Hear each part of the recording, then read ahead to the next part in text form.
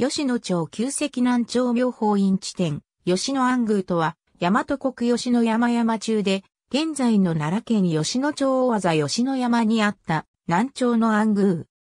延元元年、建武三年の暮れ、足利高氏の京都占領によって、建武政権が崩壊し、幽閉されていた後醍醐天皇が京都を脱出して、阿能を経由して、吉野吉水院に入り、数日後に近くの金峰山寺の達中、未城寺を金輪王子と改名して安宮と定めた。これが吉野安宮である。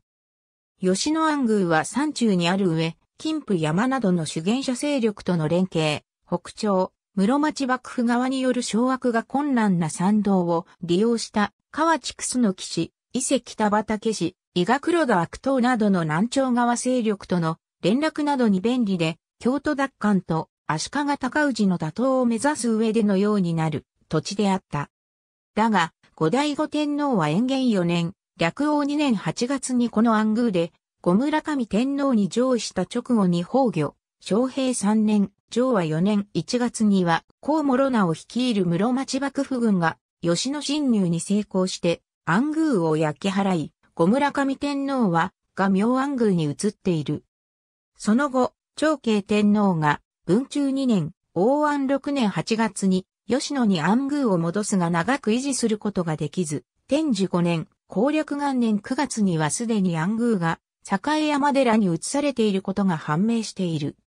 その後、元中9年、明徳3年に、南北朝合一を迎えるまで加盟制などに暗宮が置かれたと推定され、吉野町とも称された南朝56年のうち実際に吉野に暗宮が置かれたのは20年弱と見られている。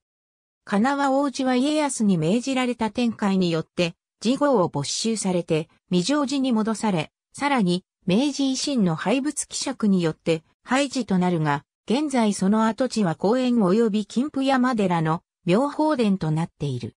没収された事号は、吉野勢力と共に日光に移され、金を取って林王寺となった。後醍醐天皇が聖妃である中宮純子内親王のために読んだ袖かヘス天心乙女も思い出図や吉野宮の昔語りをはじめ、南朝四代の天皇が吉野について読んだ歌の歌碑などがある。ありがとうございます。